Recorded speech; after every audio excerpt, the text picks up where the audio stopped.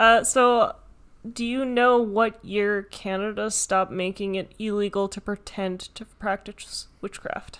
To pretend? Yes, to pretend to practice witchcraft. I didn't know that that was ever illegal. It was. 1942. No. So, in fact, it was 2018. What?